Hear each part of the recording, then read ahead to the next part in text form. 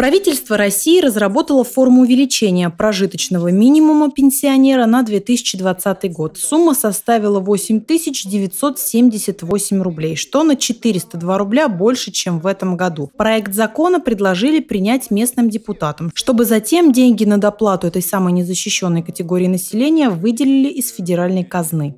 Обсуждение законопроекта вышло очень ярким. Депутаты от ЛДПР предлагали сумму увеличить. Чиновники объяснили, разницу придется находить в областном бюджете. Каким образом, неизвестно. Даже перенос решения вопроса грозил бы тем, что деньги от федералов не получат. Но либерал-демократы стояли на своем. Я, честно говоря, не понимаю, как можно, при том, что у нас уровень жизни высокий в Ивановской области, очень высокий уровень жизни, я не ошибся в этом слове, у нас очень все дорого.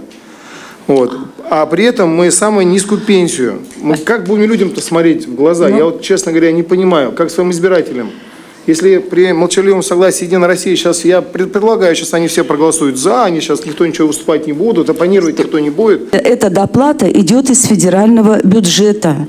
И мы сейчас, как бы мы ни хотели рассуждать, как мы будем жить на эту пенсию, да, мы не можем отойти от тех технических расчетов, которые мы должны сделать для того, чтобы эти средства были предусмотрены и в бюджете Российской Федерации.